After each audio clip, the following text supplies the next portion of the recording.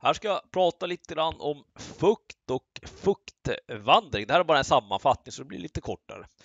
Eh, fukt, eh, fukt är oftast ett ganska stort problem när man bygger. Egentligen det man eh, är mest haj på att det här vill man absolut inte ha därför att det kan innebära stora problem. Dyra, dyrt att reparera beroende på vart fukten har hamnat, men för det mesta är det svindyrt, speciellt om man ska riva ut ett badrum. Då får man räkna med 100 000. Och eh, det finns lite olika typer av eh, fuktkällor som man behöver tänka på. Och jag kommer att prata om relativ ånghalt om ett litet tag, men inte just nu. Eh, om jag säger att en relativt ånghalt på 100% innebär att eh, om du stoppar in fingret i jord så blir du blöt om fingret. Betyder att det är 100 eh, relativ ånghalt. Så att eh, det är helt enkelt när, när fukt blir eh, vatten, alltså imma.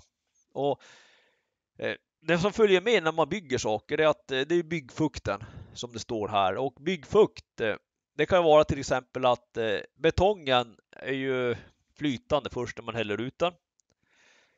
Och sen stelnar den. Och har ni inte underbränna färdigt så kommer det vara fukt kvar här. Så att ett vanligt problem det är om man smäller på undergolvet och ångspärren här innan fukten har hunnit torka ut. Innan det här har betonggolvet är färdigtorkat. Då har man ett stort bekymmer och i norra Djurgårdsstaden så Nej, Hammarby sjöstad var det. Då ställde man ut eh, element som skulle vara i isoleringselement. Jag vet inte vad mineraler ställde man bara ut eh, utanför huset här. Sen gick man ju på semester glad i hågen i, i slutet av juni, början av juli. Och vad som hände då var ju att eh, det regnade på dem och sen kom de in igen och så stoppade de in den fuktiga isoleringen in i väggen och ett helt kvarter började mögla. Och då vart det dyrt. Eh, vi andas, eh, så vi, vi alstrar fukt. Och största fuktkällan är ju bad och kök. Och i köket, det som är farligast, som har mest fuktskador, det är diskmaskin. Eh, för att man diskar så är det någon slang som, är, som har lossnat, så då har vi problem ja, det där säger sig självt. Men eh, ja, det är också vanligt i badrum att man får, får problem. Och eh, om det regnar, om det regnar med dåligt underhållet tak, då kan det ju får man ju problem. Taket får man ju byta eh, med jämna mellanrum beroende på vad man har för, för typ av tak.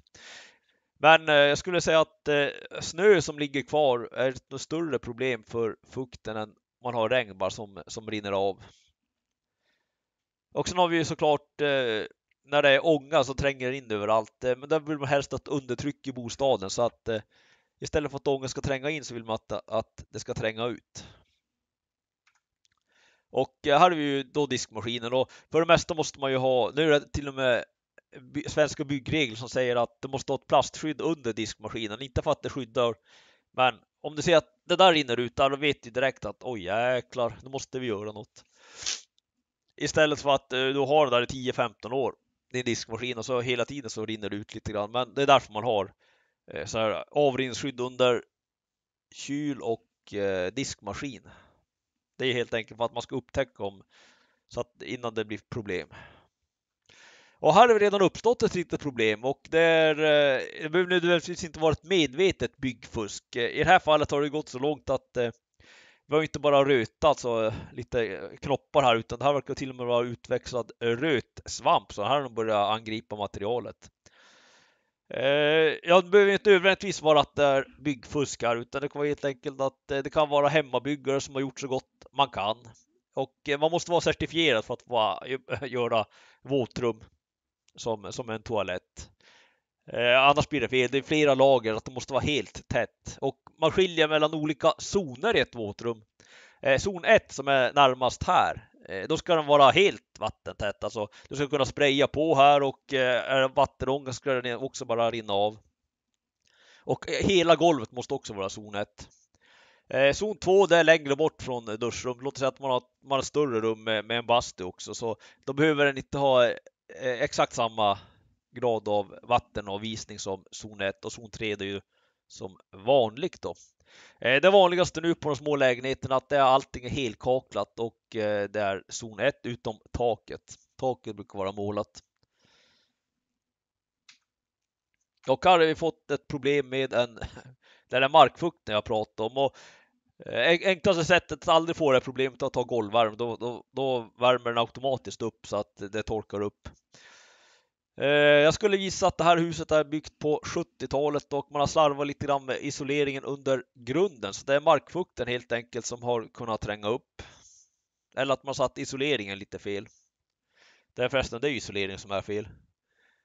Eh, isoleringen ska ju ligga under grunden, inte över, så att, eh, så att huset ska eh, värma upp eh, grunden och sen ska man sätta isoleringen under grunden. Det är därför man vill undvika att det uppstår problem så av, av det här skälet. Nej, just det. All material skadas ju såklart inte av fukt. Eh, betong skadas inte av fukt därför att eh, det, är ingenting som äter sten. Men allt organiskt eh, skadas ju av fukt. Tror det räcker så. Och eh, den här är lite krånglig bild att ta med i en powerpoint, men nu kommer den hänga kvar här ett tag så att den här är ganska logisk. Eh, menar, regalskeppet Vasa, den sjönk ju måste jag tänka, slutet av 1500-talet och var det 1600, någon gång där. Eh, och den fick ju ligga där på botten under en väldigt eh, syrafri miljö och eh, när de fick fiska upp den nu så ja, då var den ju hel. Så att det krävs syre för att mögel och röte ska kunna bryta ner eh, organiska material. och var den borta så, ja då bröts det inte ner lika mycket i alla fall. Och tiden också. Låt oss säga att ni har en, en, en högriskkonstruktion på eran bostad som ni har på, låt oss säga Öland, där är det ofta sol, eller Gotland, ännu soligare. Då vet ni att ja, i maj månad, eh, då kommer det att komma, kanske inte så mycket snösmältning där, men eh, det kommer att regna mycket. Eh, det kommer bli blött nära grunden. Men sen vet jag att när juni kommer så Eh, kommer det att blåsa ganska mycket och det kommer bli varmt så det torkar upp och finns inte tiden, ja, inga problem. Och eh, det blir inte heller något problem om ni eh, bygger en liten stuga och ska ha, låt oss säga, ja, ni, ni köper den, äh, lapparna säljer inte.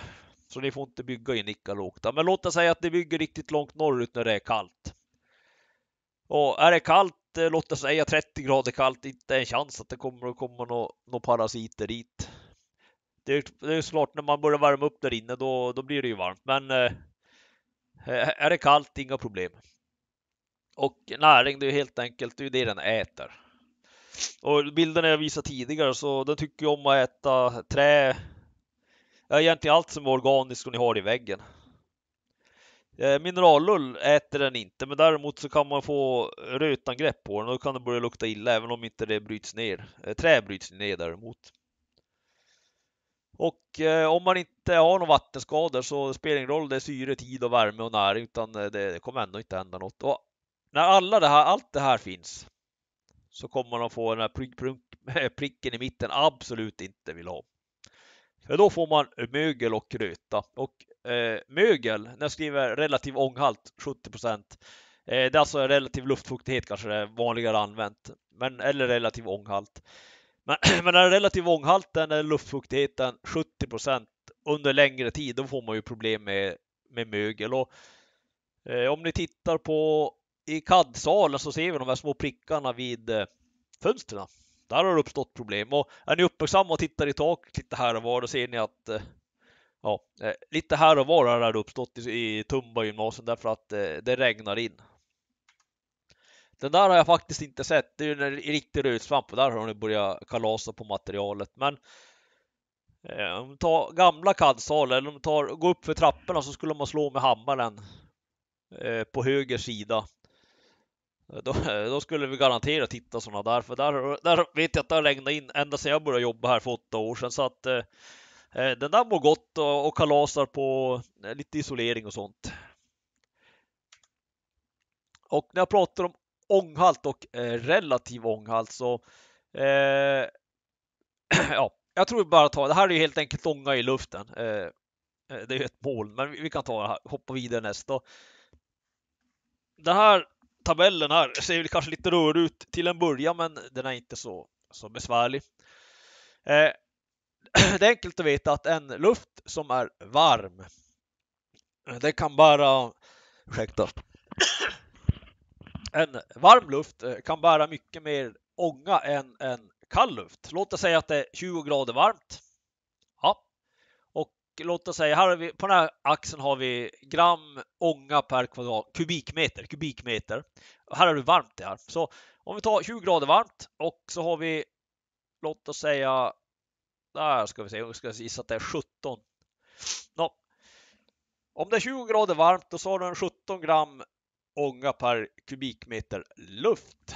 Då kommer vi att komma upp i en ånghalt av 100 procent. så att eh, över det här, alltså det här hållet här, när vi stiger över 100 procent, då kommer ju inte luften längre att kunna eh, bära ångan utan det kommer att fälla ut som imma. Och så om, om ni har duschat länge så blir det imma på spegeln. Och någonstans här under vill du ju helst ligga för att inte drabbas av rötangrepp på, i ditt hus. Och är det bara 10 grader varmt, då klarar de bara så här mycket. Och det här är också förklaringen till att eh, krypgrunder är en högriskkonstruktion beroende på hur man har gjort dem. För under, eh, låt oss säga att det är sommar. Då är det ganska varmt ute. Låt oss säga att det är varmt ute och eh, solen ligger på eh, och den värmer upp luften till 20 grader. Men solen ligger inte på en krypgrund för den ligger under huset så där är det mycket kallare. Låt oss sätta bara 10 grader där. Och då kommer ju en 20-gradig, det är 20 grader varmt ute. Låt oss säga att eh, den luften innehåller Ja, låt oss säga 14 gram eh, eh, ånga, ånga per kubikmeter så att det är 80% relativ luftfuktighet.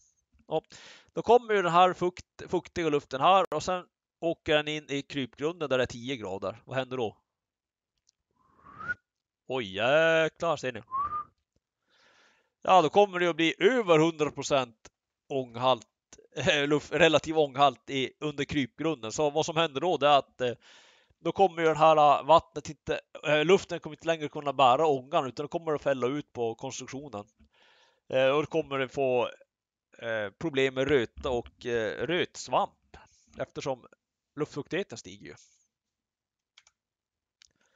Och här är bara lite exempel på hur vatten kan flytta på sig och den vänster är ganska självförklarande. Det är gravitation. Eh, den här är kanske inte riktigt helt självförklarande. Jag tog en duschsvamp för att eh, den suger upp saker. Det är helt enkelt kapillärsugande. Eh, om du har små, små, små rännilar så suger den ju upp saker uppåt så trotsar gravitationen.